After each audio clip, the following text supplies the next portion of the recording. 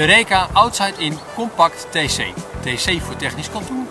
En compact omdat hij geschikt is voor twee volwassen personen, misschien drie, of twee volwassenen met twee kleine kinderen.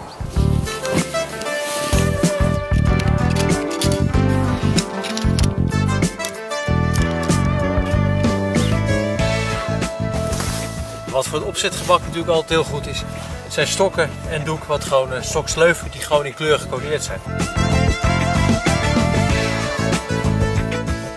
Staat zoveel spanning op die stokken.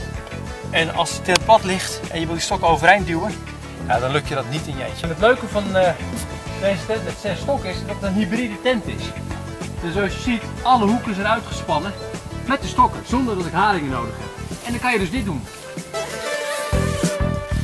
Handig, ook handig. Een van de dingen waar ik bij Eureka nooit aan heb kunnen wennen zijn de gele kunststof haringen. Je ziet ze heel duidelijk en ze werken op zich best goed, maar in de praktijk breken ze ook vrij snel. En dat heeft me al eens een keer een goede zere plek opgeleverd.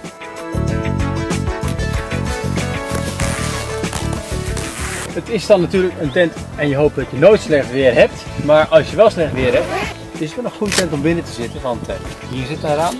Gaan we even naar die kant. Kun je kijken wat er van links komt. En uh, ja.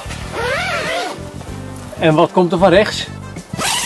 De Eureka heeft natuurlijk outside in een ingang. En dan hier weer een uitgang of ingang. En dan kan je natuurlijk weer naar binnen. Ja, en dan zit er natuurlijk aan de andere kant ook weer een uitgang. Muskietengaas hier. En hier natuurlijk.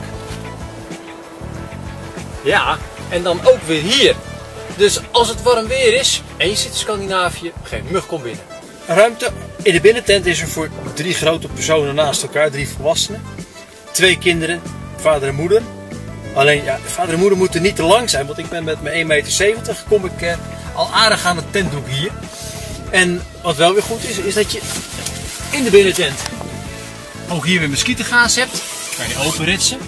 Dan kan je naar buiten kijken. Hier zit weer een plasticje voor. Maar ook dat kan je weer openritsen. Heb je een nog groter kijkvlak.